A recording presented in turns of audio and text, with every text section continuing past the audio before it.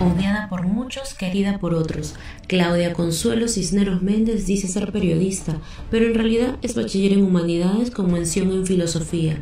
Recién desde el año 2016 por la Pontificia Universidad Católica del Perú, según la SUNEDU. Eh, señorita, por favor, no se No, licenciada, dime, Licenciada. tú creo que eres licenciada, no, no, No, eres no ¿Qué no, título no, tienes? No, no, no, eso no es no, No, es que quiero saber. ¿sabes por qué? Porque dicen Por que una favor, la entrevista la estoy es haciendo yo.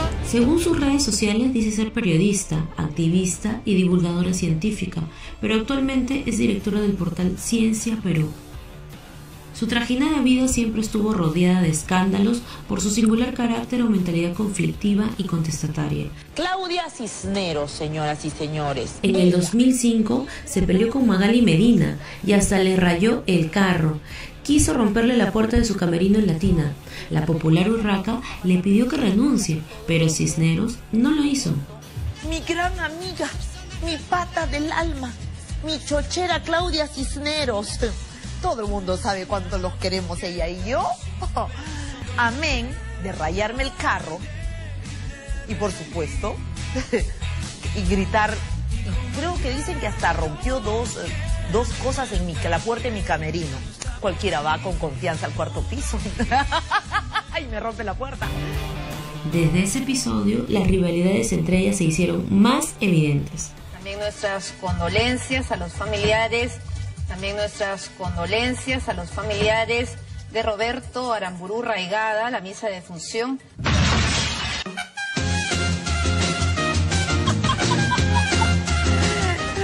Ese, ese, ese, esa bromita, esa bromita además de buen gusto, porque hay cosas a las que le han puesto peores cosas, ocasionó que ella, como siempre se cree diva y anda con la nariz respingada para todos lados, ¿no? Fuera y me rayara el carro, buscara a mi camerino, le tirara no sé qué cosas a la puerta y, y después se fue de este canal. Se largó, se quitó, eso fue en el 2005. Se peleó por Twitter con la periodista Mónica Delta. De igual forma lo hizo con Jaime Chincha, pero en vivo, cuando ellos conducían el programa matutino Buenos Días Perú. Me interesa saber qué cosa es la terapia electroneuromedular. Pero, pero déjame, tiene- déjame terminar con No, esto. Sí, sí, espérate, Jaime. un ratito, un ratito. Es que estoy haciendo quiero- la presentación. Está bien, pues, pero yo simplemente tengo esa curiosidad y lo estoy manifestando en el aire. También le pidió la renuncia al periodista Jaime Bailey, cuando ambos trabajaban en el mismo canal. Señor Jaime Bailey ha señalado que en este canal se le ha sugerido de poner su eventual candidatura presidencial como condición para continuar dirigiendo y conduciendo el mencionado programa periodístico. Esta afirmación es falsa y solo puede entenderse como otra fantasía del escritor periodista candidato. Mi amor, tú eres una de mis fantasías.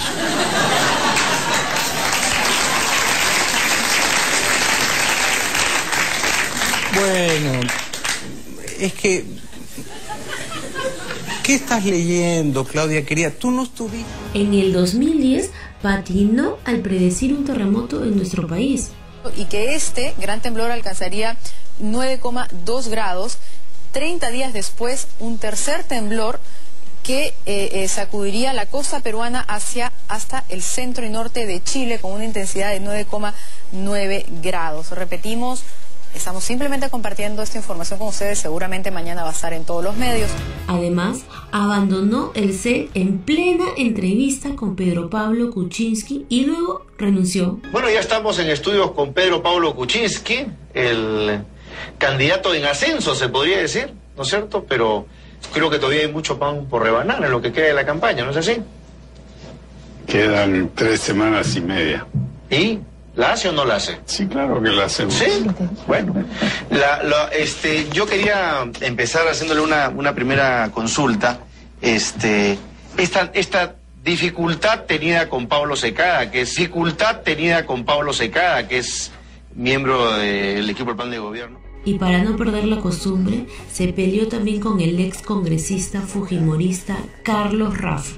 Para liquidarme O sea, usted no, va- no va a responder Yo voy ante, a ante, seguir utilizando ante los requerimientos de la justicia. una atribución que me da la constitución política del Perú frente a procesos políticos que lo único la que impunidad buscan... con la inmunidad parlamentaria. No, no, se llama inmunidad. Qué pena, Claudia. francamente. Impunidad es otra cosa Qué muy diferente. pena y además que tenga, digamos, tan poca sangre en la cara para decirlo así Mira, de una manera Yo tan... lamento mucho cuando Gina Pacheco te ha faltado el respeto, Claudia, y lo digo y lo lamento y me solidarizo contigo. No, no es ningún Pero favor tú que no me puedes haces. tampoco faltarme el respeto. Yo no estoy faltando O el sea, respeto, yo le estoy Mario, diciendo abiertamente de que me Latina, parece una vergüenza que un congresista se ampare respeto. en la Mira, impunidad. Mira, Revivió su inmunidad tú parlamentaria. has comenzado, y eso no lo digo tú has yo, comenzado, pregúntale a Claudita, cualquiera que no con sea toda una posición política. Nos conocemos A muchos cualquiera años, que no sea fujimorista va a Nos, pensar lo nos mismo. conocemos muchos años. Así es, y Tú por no eso eres- tengo la- no la- la confianza de la decirle- de decirle- Con todo el respeto del mundo.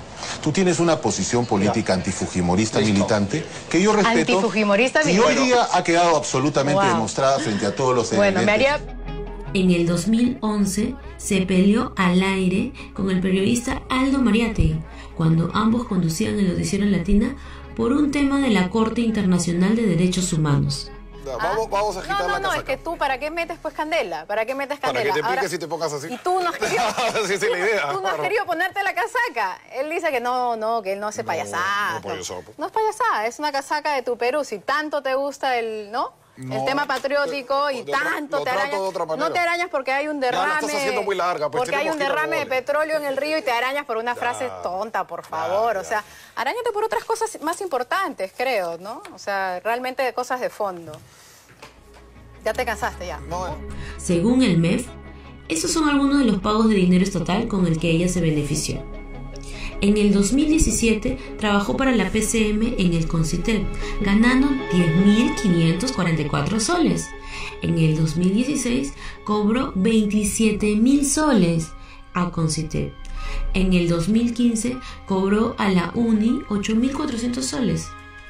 En el 2014 cobró a Concitec del Ministerio de Educación a la Autoridad Nacional del Agua y Sierra Exportadora del Ministerio de Agricultura.